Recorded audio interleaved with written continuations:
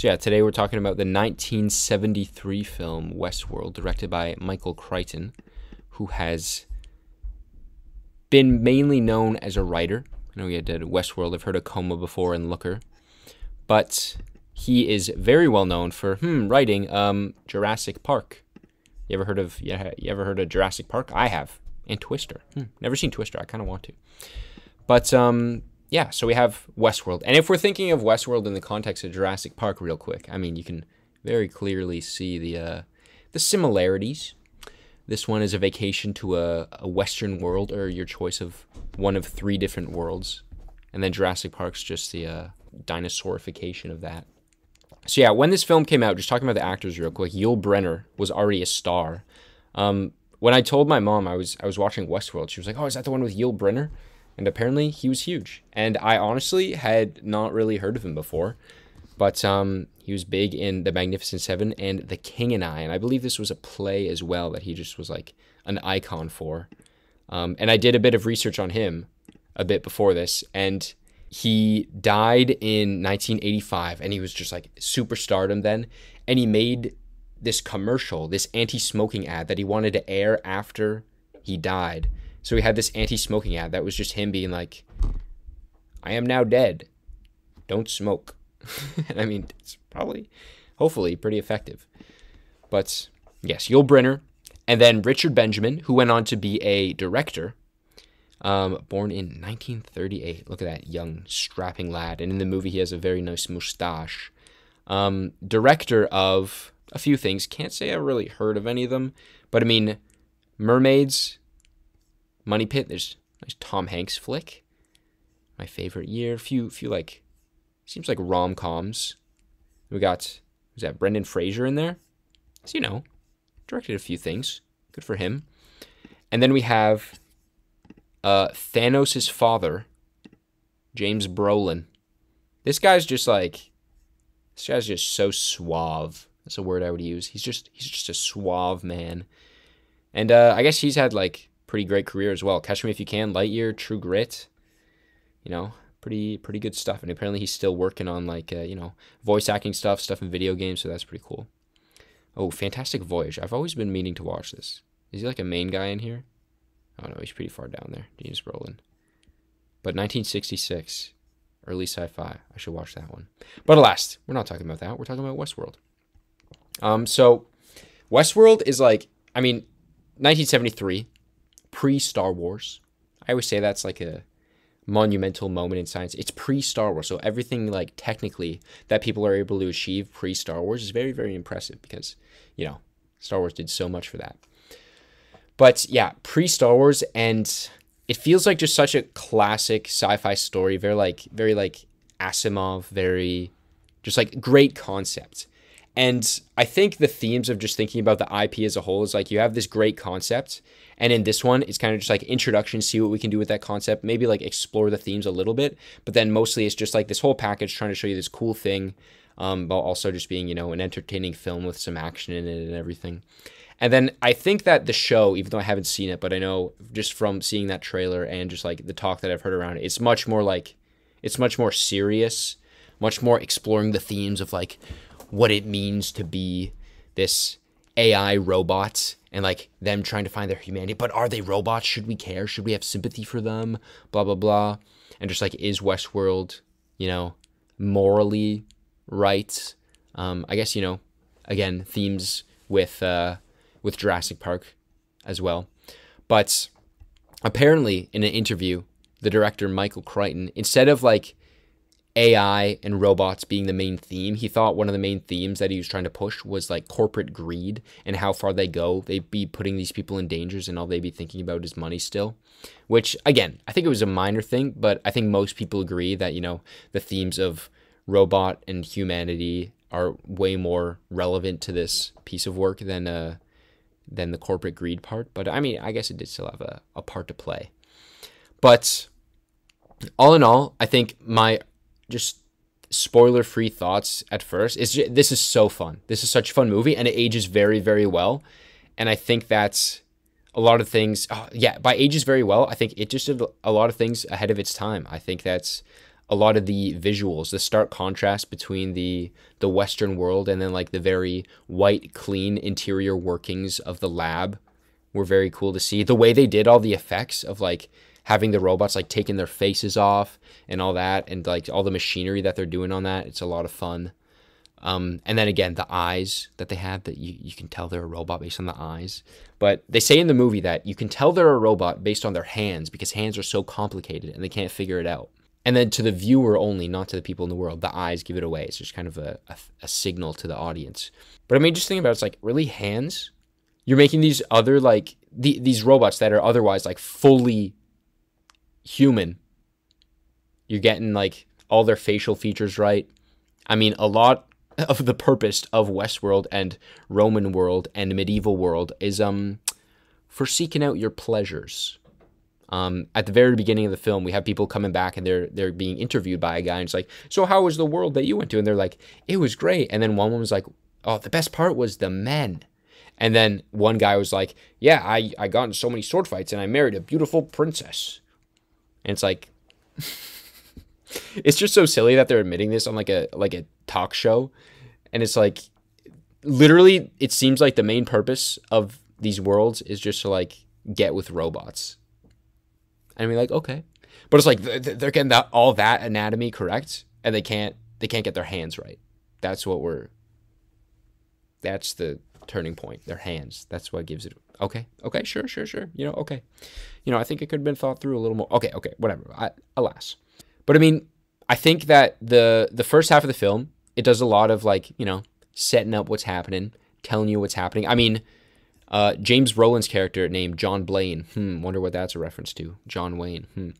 Um, they're just sitting on the plane in this scene that you see in the poster right here, and he's just explaining the whole thing to him and the to uh, Richard Benjamin's character Peter and the audience. He's like, so Richard Benjamin's character's like, so uh, you got to you can just you can just shoot anybody. You got a gun. Yeah, they're all robots, man. You can just shoot anybody. Yeah, they it's the hands. They don't perfect the hands. You know, it's just you get to go to all these worlds. Blah blah blah. They're all robots. Okay, setting everything up. Okay, cool, cool, cool. It was still fun though. I did like the futury set designs of going to uh going to Westworld, and then we get to Westworld, and it's pretty fun. They're just going about their day. Yeah, they get to Westworld. They go to a bar, get into a fight you know, Yul Brynner's characters there, they're like, they just get to shoot him down. Like, whoa, that felt so real. Oh my gosh. That was so cool and crazy. And yeah, so first half of the movie, setting everything up, pretty fun. Everything's going well. And then second half of the movie, everything going wrong. I think the start of everything going wrong went really, really well. And it was really, really interesting. And it's like, you're genuinely like, how are they going to figure this out? How are they going to get out of this? But then, uh, then there's just like, it just drags on. And the ending I wasn't as satisfied with. But all in all, I think before I go into more spoilers, that I think, oh, this is just a must watch for anybody who's a fan of sci fi. Ages really well. A lot of the effects are pretty decent. There's just one effect where you see a POV from a robot and it's very like pixelated, and apparently that was very ahead of its time. Um, it looked pretty cool. I dug it. Um, and then there was also just some themes. Again, it was just very well written, a classic sci-fi story that are just expanding on pretty cool themes. And again, in further works, it's been expanded more in the TV show. But uh, I mean, it still works really well. Good starting point. I feel like a lot of the ones back then were just good starting points, and they just like pretty solid works in themselves because they were just trying to be this one thing, not trying to make franchises from the get-go. So I think it worked very well. Okay, going into more spoilers. One thing I did want to talk about that I think a few people I noted uh, on the interwebs talked about were, yeah, again, being ahead of its time. Specifically, one part in the film, they were talking about how they don't know why all these robots are like defecting.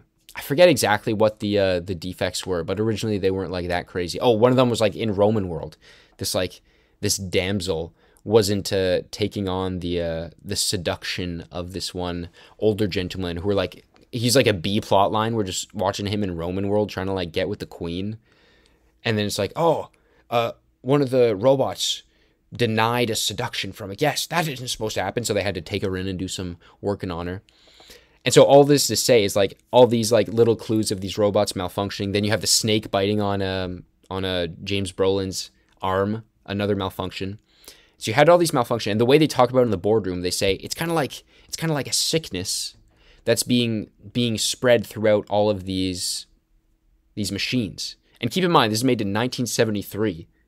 So they're literally like predicting. I, I feel like at 1973, maybe I'm just wrong here, but like computer viruses weren't really a thing back then.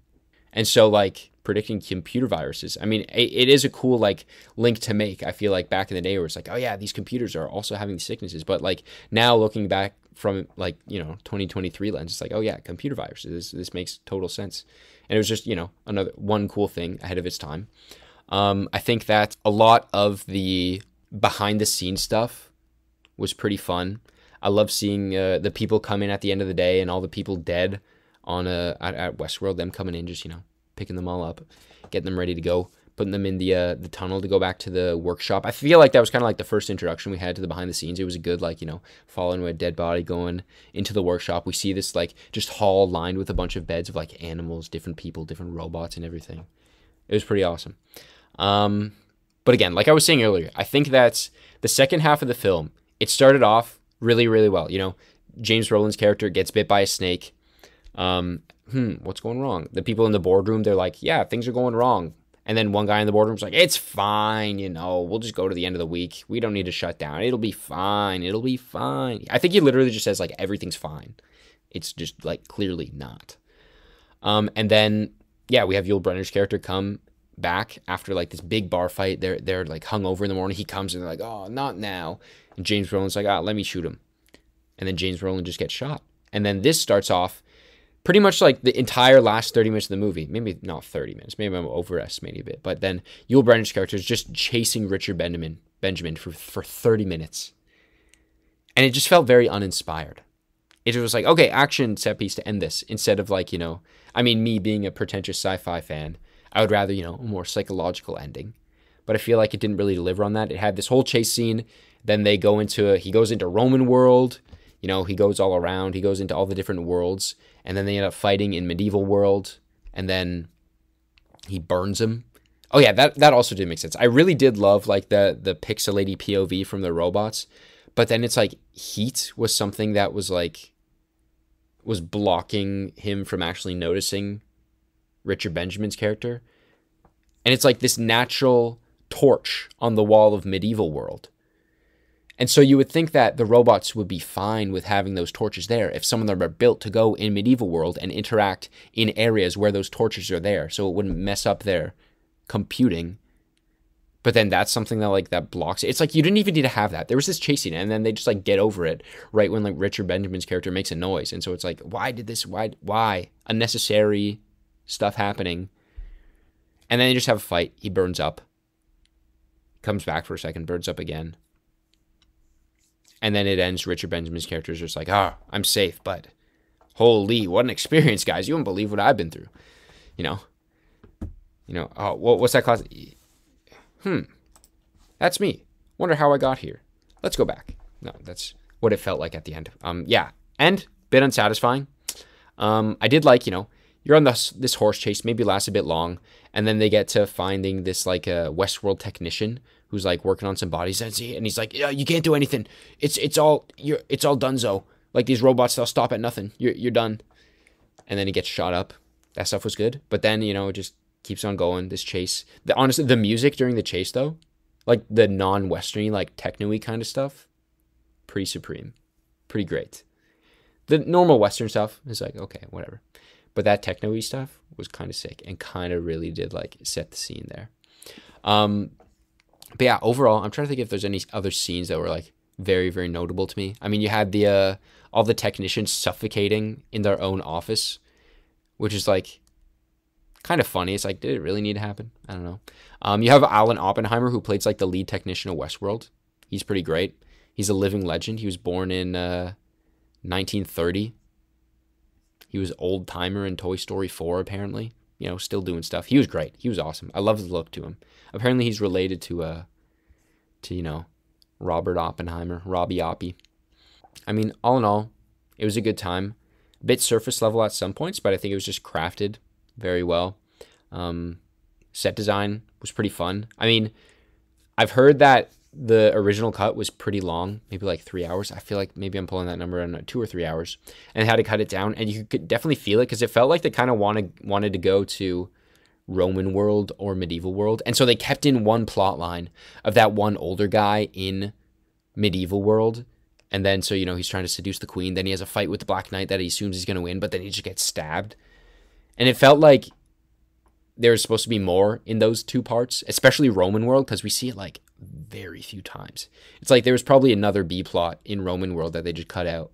So it just did feel a bit disjointed. I mean, it is called Westworld though, so we know we did stay in Westworld most of the time. But I mean, ugh, it was just a classic sci-fi. Very interesting, very fun. Um, you know, it's it's a fun film where it's like an original sci-fi concept where maybe they didn't go like all the way. They were just trying to make this one package, had a lot of action in it still. But like the what ifs, thinking about it's like, oh, what if this happened? What would happen? Blah, blah, blah. It's like one of those worlds, as in, you know, Westworld, the concept of this like robot vacation area. There's just so many different scenarios that could happen. And I feel like there's still a lot different stories that could be told, not just in Westworld, in different different kind of worlds, which they did make a sequel called Future World, which apparently wasn't as critically acclaimed or notable. 2.7 here on Letterboxd. Two years after the Westworld tragedy in the Delos amusement park, corporate owners have reopened the park over 1 billion in safety and other improvements. Wow, very cool. So, you know, they're investigating the new park. Just prior to arriving at the new park, however, Browning is given a clue by a die man that something is amiss. Peter Fonda, Yul Brynner still in it, different director, but um, there, wait, what? Where the only way to survive is to kill yourself. What? I mean, you never know. Could be interesting. Could be interesting.